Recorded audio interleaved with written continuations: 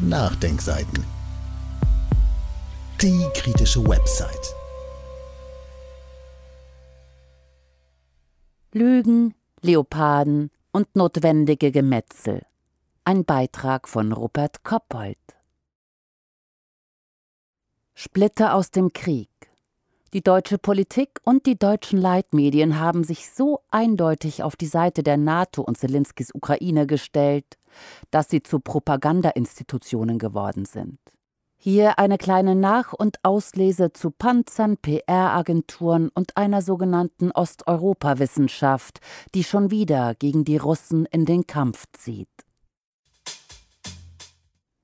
Was russische Sprecher gesagt haben, war fast durchgängig nicht wahr, während die Aussagen der ukrainischen Sprecher weitgehend zuverlässig sind.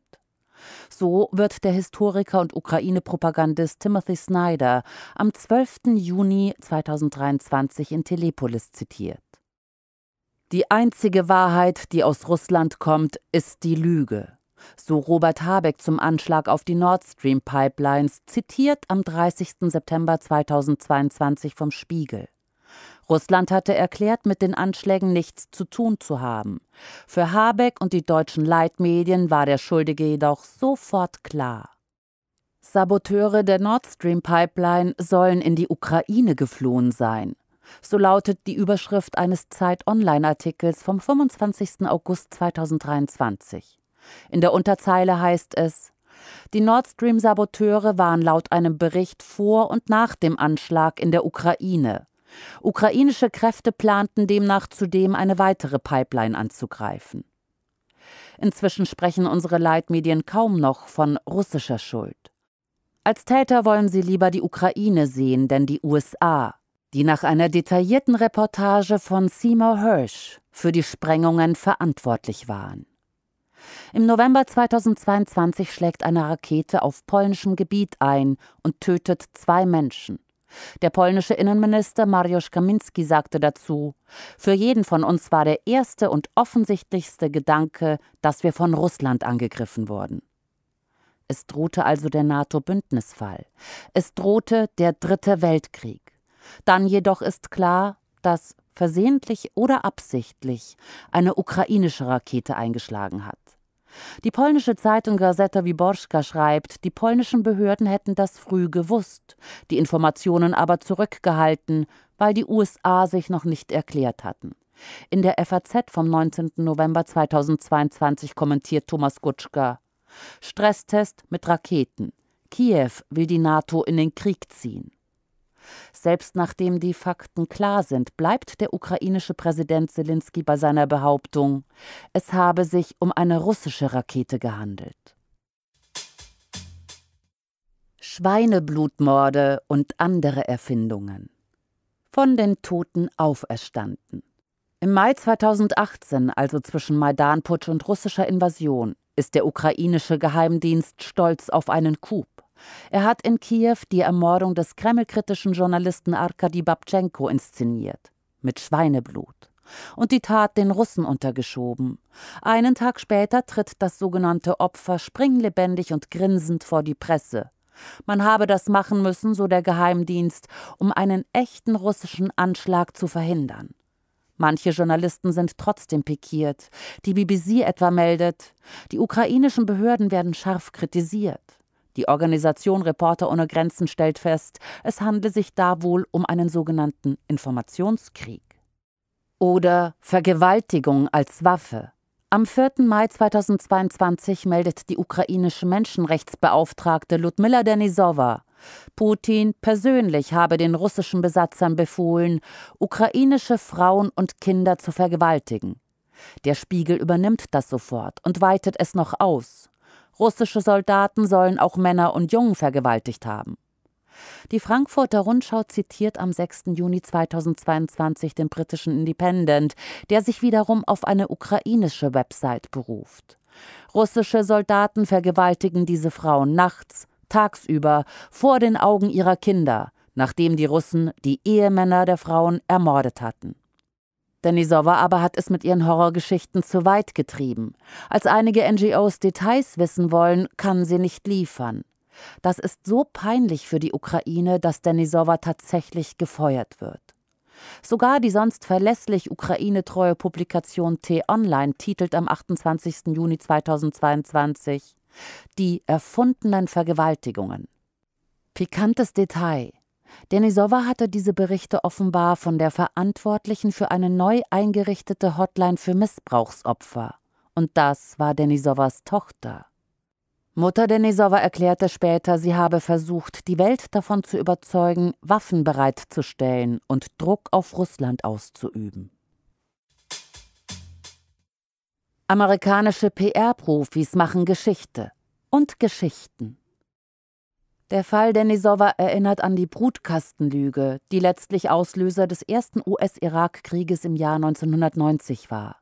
Irakische Soldaten hätten bei der Invasion Kuwaits Frühgeborene aus ihren Brutkästen gerissen, auf den Boden geworfen und sterben lassen, erklärt eine Frau namens Najira als angebliche Augenzeugen im US-Kongress.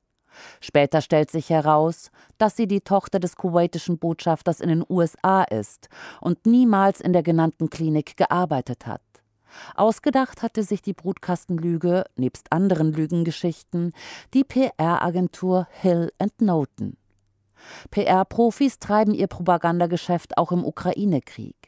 Jörg Becker schreibt am 31. Juli 2023 in der Frankfurter Rundschau nach einer Meldung aus der Abteilung Foreign Agents Registration Act des US-Justizministeriums, bei dem seit 1938 jede US-amerikanische PR-Agentur, die für eine fremde Regierung arbeitet, eine Genehmigung einholen muss, hatten im März 2023 allein aus den USA 25 Agenturen einen Vertrag mit ukrainischen Regierungsstellen.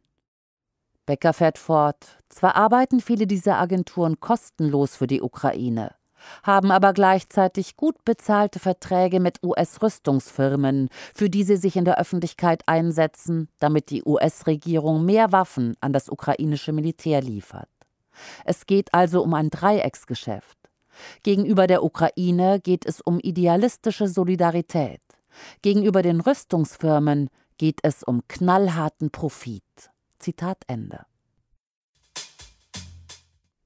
Europäische Helden auf der Jagd. Die Ukraine verkörpert all das, wofür die europäische Idee steht. Den Mut, zu seinen Überzeugungen zu stehen, den Kampf für Werte und Freiheit, das Ringen für Frieden und Einheit. So spricht Ursula von der Leyen am 14. Mai 2023 anlässlich der Verleihung des Karlspreises an den ukrainischen Präsidenten Zelensky. Schon bei ihrer State of the Union-Rede am 14. September 2022 in Straßburg hatte sie Zelenskys Ukraine gepriesen. Eine Nation von Helden wurde geboren. Wir verneigen uns vor einem Land europäischer Helden. Der Chef des ukrainischen Militärgeheimdienstes, so die Berliner Zeitung am 19. Mai 2023, hat zugegeben, dass Kiew hinter den Morden an prominenten russischen Propagandisten steckt. Wir haben bereits eine ganze Reihe von Menschen erfolgreich ins Visier genommen, sagte Generalmajor Kyrillo Budanjow in einem Interview, wie die britische Tageszeitung The Times berichtet. Dank der Berichterstattung in den Medien gab es Fälle, von denen jeder wusste, Zitat Ende Berliner Zeitung. Budanow will weitermorden. Abschaum wird irgendwann in jedem Land der Welt bestraft. Nur die Eliminierung kann eine wohlverdiente Strafe für solche Taten sein. Zitat Ende. Die Ukraine hatte vorher immer dementiert und als Täter die Russen vorgeschlagen. Wir spüren sie auf und erschießen sie wie Schweine, so titelt die Daily Mail Online am 5. Oktober 2022. Es geht um die ukrainische Rückeroberung besetzten Gebietes. In der Unterzeile heißt es, wie die Ukraine brutale Rache nehmen an den Kollaborateuren, die ihre Nachbarn und ihr Land an die Russen verrieten. Das Schweinezitat stammt übrigens von Anton Geraschenko. Er ist Berater des ukrainischen Innenministeriums, war Abgeordneter im Parlament und bei der Gründung des faschistischen Asow-Regiments beteiligt. Die Daily Mail distanziert sich übrigens nicht von ukrainischen Racheaktionen. Sie berichtet eher zustimmend, ja fast mit einer Art von Bewunderung. Geld scheffeln, aber mit ökologisch korrekten Mordwerkzeugen. In Ruben Östlands grandioser Filmsatire Triangle of Sadness diskutiert der US-amerikanische Kapitän einer Luxusjacht, seines Zeichens Marxist, mit einem osteuropäischen Düngemitteloligarchen und sagt: Meine Regierung hat Martin Luther King, Malcolm X, Bobby Kennedy und John F. Kennedy ermordet. Meine Regierung hat gute, ehrliche, demokratische Regierungschefs in Chile, Venezuela, Argentinien, Peru, El Salvador, Nicaragua, Panama und Bolivien gestürzt.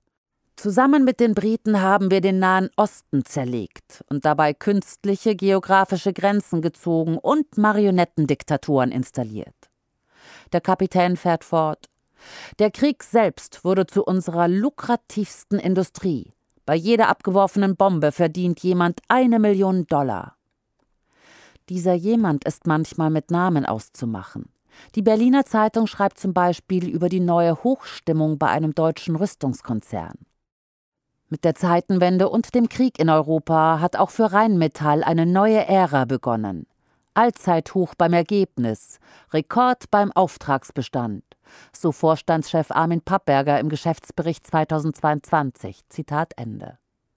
Die Selbstbeschreibung des Konzernes lautet übrigens so: Rheinmetall ist ein integrierter Technologiekonzern für umweltschonende Mobilität. Bis 2035 wollen wir CO2-neutral sein. Da freuen sich schon heute Umwelt und Tierwelt. Unter dem Schutz des Sperrgebietes, auf dem Schießplatz herrschen strengste Sicherheitsmaßnahmen, siedeln immer neue Arten an. Der Donner der Kanonen schreckt die Tierwelt nicht. Noch einmal ein Zitat des jovialen Rheinmetall-Managers Armin Pappberger, diesmal aus einem Interview mit der Stuttgarter Zeitung vom 23. September 22. Die will von ihm wissen, was er von den Demonstrationen gegen seinen Konzern hält. Pappberger antwortet sehr demokratisch. Ich kenne das gar nicht anders als bis Demos bis fast vor die Tür. Ich bin froh darüber, dass wir in einem Land mit Meinungsfreiheit leben. Wenn einer demonstrieren möchte, dann soll er demonstrieren. Ich habe vollstes Verständnis dafür. Ich habe nur kein Verständnis, wenn diese Menschen zerstörerisch werden. Zitat Ende. Denn das fachgerechte Zerstören, das muss man schon den Profis von Rheinmetall überlassen. Masters of War oder Die Drohnen des Herrn Ischinger. Wolfgang Ischinger, Ex-Diplomat und graue Eminenz der deutschen Außenpolitik, der sich als langjähriger Chef der Münchner Sicherheitskonferenz so staatsmännisch neutral gab, war und ist Repräsentant der Beratungsfirma Agora und hat Aktien der Waffenschmiede Hensoldt, für die er auch im Aufsichtsrat sitzt. Laut dem Journal Politico vom 16. Februar 2022 und dem Spiegel vom 19. Februar 2022 bot der Waffenhändler und Rüstungslobbyist Ischinger bei der Tagung Stille Räume für Deals mit Saudi-Arabien, Ägypten oder Katar an. Er selber hat öffentlich als Militärexperte etwa für die Ausstattung der Bundeswehr mit bewaffneten Drohnen plädiert. Hensoldt stellt solche Drohnen her. Nochmal zurück zum Film Triangle of Sadness, in dem ein älteres britisches Ehepaar so wohlerzogen, so gutbürgerlich von einem Mitreisenden gefragt wird, wie es sein Geld verdiene. Der Mann, der Winston heißt, sagt, nun, unsere Produkte werden dazu benutzt, die Demokratie auf der ganzen Welt aufrechtzuerhalten. Dann spezifiziert er, unser bestverkauftes Produkt ist die Handgranate. Als die Yacht von Piraten überfallen wird, landet auf dem Deck eine Handgranate. Clementine, die Waffenhändlerfrau, hebt sie auf und spricht freudig, erstaunt ihre letzten Worte. Schau mal, Winston, ist das nicht eine von uns? So passgerecht geht es auf der Welt nicht immer zu. Einiges bleibt Wunschdenken. Wie zum Beispiel in Bob Dylans 60 Jahre alten Song Masters of War. Dylan beginnt mit der Berufsbeschreibung eines Rüstungsprofiteurs. You that built the big guns. You that built the death planes. You that built all the bombs. Und erklärt dann, dass so ein Meister des Krieges sich zwar hinter seinem Schreibtisch verstecken könne, er ihn aber durchschaut habe. You that never done nothing, but built to destroy. You play with my word, like it's your little toy. All das eingesackte Geld könne ihnen aber nicht ihre Seele zurückkaufen, singt Dylan. In der letzten Strophe äußert er eine Hoffnung, von der wir uns natürlich distanzieren, die aber in Triangle of Sadness in Erfüllung geht. And I hope that you die and your death will come soon. Streichelzoo mit Leoparden. Die Bundeswehr führt die Tradition der Wehrmacht fort. Zur Nazizeit schossen Panther, Tiger und Löwen aus allen Rohren. Heute ist es der Leopard. Und es geht auch wieder gegen die Russen. Wie das vor allem unsere grünen Politikerinnen freut. The Leopards Freed twittert am 24. Januar 2023 euphorisch Katrin Göring-Eckardt, Vizepräsidentin des Deutschen Bundestages. Auch die Außenministerin Annalena Baerbock wird anlässlich der Verleihung des Ordens wieder den tierischen Ernst laut Fokus von 5. Februar 2023 ganz übermütig. Ich habe lange überlegt, was meine Verkleidung angeht, sagte Baerbock. Die Verkleidung als Leopard schied aus. Sie habe Sorge gehabt, dass das Kanzleramt keine Reisegenehmigung erteile, sagte die Außenministerin mit ironischem Ton. Sie trug einen schwarzen Hosenanzug und die Narrenkappe. Baerbocks Parteikollegin, die Bundestagsabgeordnete Sarah Nanni aber. Sie hat Friedens- und Konfliktforschung studiert. Sick, die traut sich. Sie twittert nicht nur Free the Leopards, just do it, sondern führt im Parlament auch ein Leoparden-Sweatshirt vor. Leopardenmanie auch im diplomatischen Dienst. Anker Feldhusen, bis Juli 2023 deutsche Botschafterin in der Ukraine, streichelt am 22. März 2023 auf Twitter einen Plüschleopardenpanzer und schreibt dazu am Ende eines langen und arbeitsreichen Tages mit meinem neuen Lieblingsspielzeug, das mir heute von einem wunderbaren Bürgermeister einer Stadt geschenkt wurde, die vor einem Jahr unter russischer Besatzung stand. Stand with Ukraine. Zitat Ende. Die infantile Verspielzeugung unseres deutschen Mordgerätes zeigt sich auch auf einem wunderbaren Bild, das im Schrifttext verlinkt ist. Auf dem der Verteidigungsminister Boris Pistorius seinem ukrainischen Amtskollegen einen Miniaturleopardenpanzer im Plexiglas übergeben hat. Und beide strahlen um die Wette. In Afrika freilich wird deutscher Panzerhumor nicht verstanden. Als das Auswärtige Amt im Januar 2023 twittert, dass der russische Außenminister Sergei Lavrov nicht nach Afrika gereist sei, um Leoparden zu sehen, sondern um Lügen zu verbreiten, und dies mit einem Leoparden-Emoji garniert, beschwert sich die Afrikanische Union. Das Auswärtige Amt publiziere entsetzliche Klischees, sehe Afrika wohl noch immer als Safari-Kontinent und nehme das Land und Leute nicht ernst. Übrigens, es gibt keine deutschen Waffen in der Ukraine. Das beteuerte Arne Kolatz, Sprecher der Bundeswehr auf der Bundespressekonferenz vom 10. Juli 23 und erklärte, es gibt ukrainische Waffen mit deutschem Ursprung. Da sehe ich völlig andere Verhältnisse. Das Bellen der NATO vor Russlands Tür. Die Story des Ukraine-Krieges ist die Story von der Osterweiterung der NATO, das ist es in einem Satz.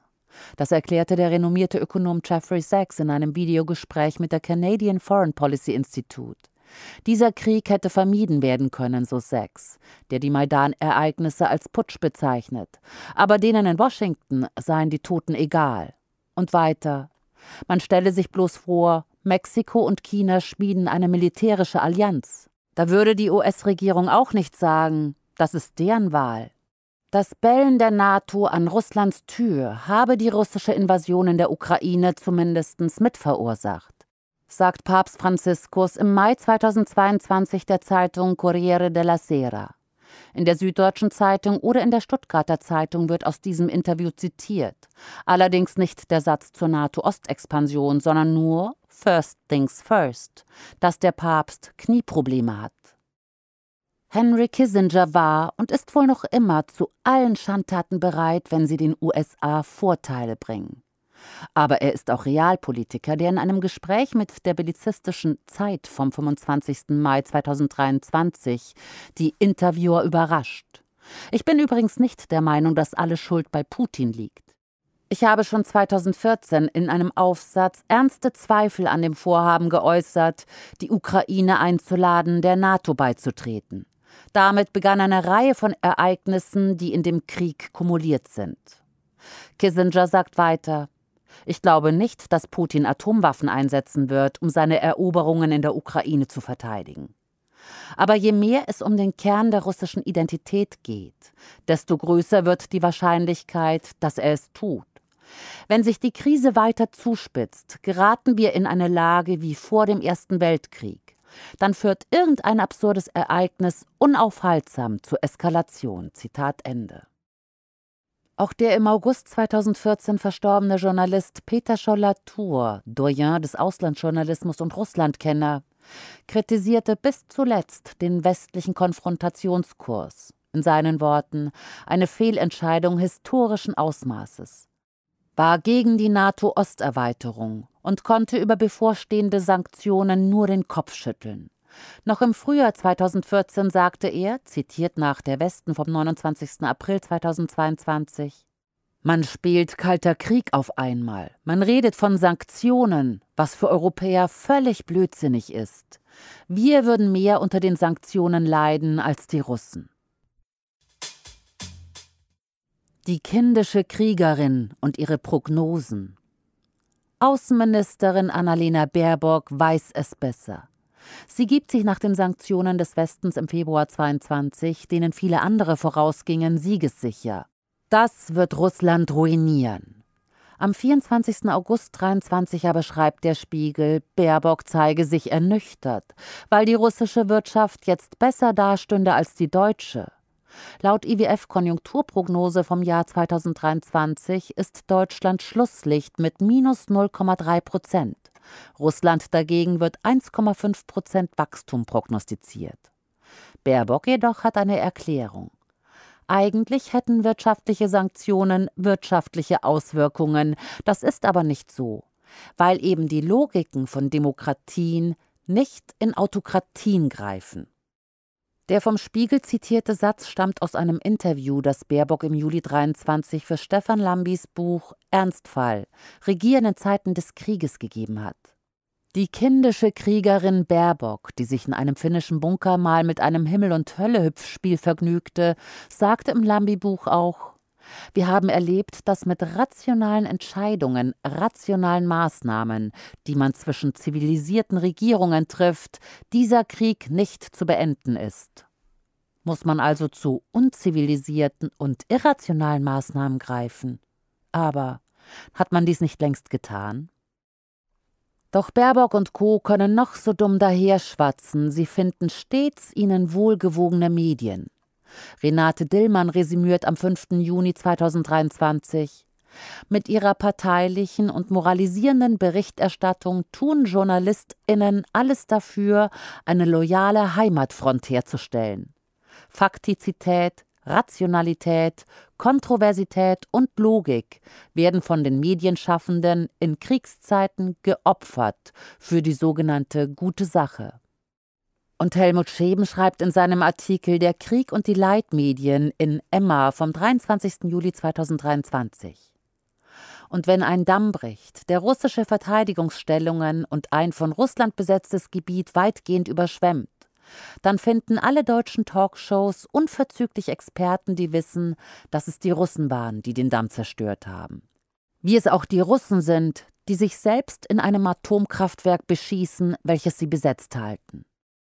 This the time's plague, when madmen let the blind, heißt es bei Shakespeare im King Lear.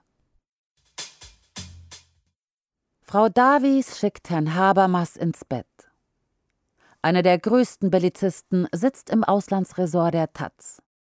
Er weiß nach der Staudammsprengung sofort, dass es die Russen waren und befiehlt. Die Antwort darauf kann nur lauten: Jetzt erst recht. Die Ukraine muss diesen Krieg gewinnen und das Putin-Regime muss verschwinden. Es gibt keinen Weg zurück. Forschungslücke. Deutschland versteht zu wenig vom Krieg. So betitelt Spiegel Online am 1. Mai 23 einen Artikel, der die zu geringe Zahl von Militärexperten bemängelt. Wenn man sich in deutschen Medien umschaut, sind es allerdings eine ganze Menge. Zum Beispiel die Hardliner Christian Möllig oder die im TV extrem präsente Claudia Major, die auch zusammen Bücher schreiben. Mölling sagte am 31. Januar 23 bei NTV, dass es nicht so schnell zu einem Verhandlungsfrieden kommen werde. In der Konsequenz ist dieses Gemetzel, der Tod vieler tausend Menschen, notwendig. Das sagte der Vizedirektor der Deutschen Gesellschaft für Auswärtige Politik. Wenn die Ukraine dann irgendwann gewonnen habe, sehe Deutschland freilich alt aus, denn in der Ukraine wachse gerade eine heroische Gesellschaft heran, die später einen Mythos des Sieges vertreten werde. In Deutschland, das sich im Zweiten Weltkrieg nicht selbst befreit habe, sorge das für eine doppelte Beschämung. Zitat Ende. Da wären auch noch, natürlich alles Transatlantiker, die Experten Florence Gaub, die Russen nicht für Europäer hält, Nico Lange, der den Aufsatz Frieden schaffen mit deutschen Waffen geschrieben hat, Carlo Masala von der Bundeswehruniversität, der die Verwendung geächteter Streumunition für notwendig hält, und Gustav Kressel, der immer und sowieso für Aufrüstung ist.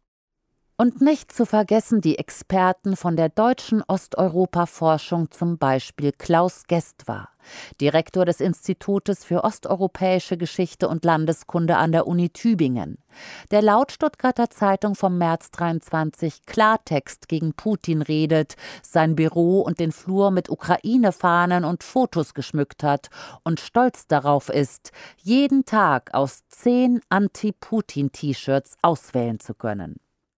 Gestwas Kollegin, die in München rumrüpelnde, pardon, forschende Osteuropa-Historikerin Franziska Davies hat den sich für Verhandlungen aussprechenden Essay von Jürgen Habermas, der am 14. Februar 2023 erschienen, einen Tag später auf Twitter so kommentiert. Das Problem, Sick, ist nicht der dämliche Text von Habermas. Das Problem ist die SZ, die den Schnodder abdruckt. Frau Davies twittert Habermas dann noch hinterher: Zeit ins Bett zu gehen. Alte Kameraden. Die Feindforschung ist wieder oben auf. Ach, diese Osteuropa-Forschung. Kein ernstzunehmender Wissenschaftler wollte sich mehr mit dieser abseitigen und rückständigen Regionaldisziplin befassen, so schreibt Wolfgang Michael am 6. April 23 im Freitag. Seit dem Ukraine-Krieg aber dominierten deren waffenfordernde Vertreter Talkshows, Thinktanks, Netzwerke und Podiumsdiskussionen. Ob sie nun Franziska Davies heißen oder Karl Schlögel, Anna-Veronika Wendland oder Andreas Umland, Gwendolin Sasse oder Jan-Klaas Behrens, Klaus Geestwar oder Julia Herzberg. Sie werden gerne gebucht, denn sie gebärden sich nicht wie die langweiligen Bedenkenträger, sondern führen oft das große Wort, teilen aus, fahren aus der Haut und kämpfen nicht selten mit Kraftausdrücken und beleidigenden Vorwürfen für ihre sogenannte gute Sache. Schreibt Wolfgang Michael und vollzieht die Historie der stets gegen Russland gerichteten Disziplin nach, die sich im Kaiserreich etablierte und im Dritten Reich etwa durch Reinhard Gehlens Nazi-Geheimdienst Fremde Heere Ost zur Hochform auflief. Auch im Kalten Krieg waren die nur oberflächlich entnazifizierten und sofort wieder netzwerkenden Kameraden mit ihren Verbindungen, etwa zu Stepan Banderas faschistischer UUN, sofort wieder tätig. Akademische Frontkämpfer, so Michael, von denen einer den anderen nachzog. Und jetzt ist diese Feindwissenschaft, die sich als Osteuropa-Expertise tarnte, schon wieder oben auf was in den meisten Martin Walser Nachrufen gefehlt hat.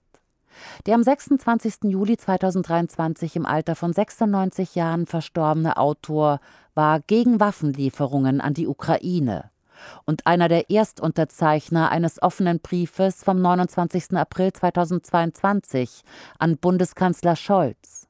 Hier sei noch angefügt Walsers Kurzgedicht Das Endspielspiel aus dem Jahr 1974 das sich sehr aktuell anhört. Spielraum. Wenn du nachsagst, was dir vorgesagt wird, darfst du sagen, was du willst. Ergreifend ist das Erlebnis der Meinungsfreiheit. Jeder Versprecher weckt die Verbote. Ein kleiner Nachtrag. Die christliche Ukraine hat uns eine neue Heilige beschert. Sie heißt Saint Javeline. Bitte googeln Sie. Und sieht aus wie eine Madonna, die jedoch statt des Jesuskindes einen Raketenwerfer trägt. Quellenangaben und weiterführende Verlinkungen finden Sie unter www.nachdenkseiten.de oder im Beschreibungstext unter dem YouTube-Podcast.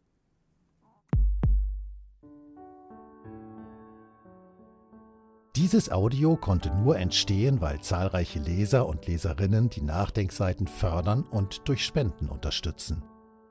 Wenn Sie auch etwas tun wollen, klicken Sie einfach den entsprechenden Button auf unserer Website an. Übrigens, Sie können uns auch bei iTunes, SoundCloud und YouTube hören und wenn Sie mögen, gerne unseren Kanal abonnieren und eine positive Bewertung für uns abgeben. Wir freuen uns über Ihre Unterstützung und die Weiterverbreitung unserer Inhalte.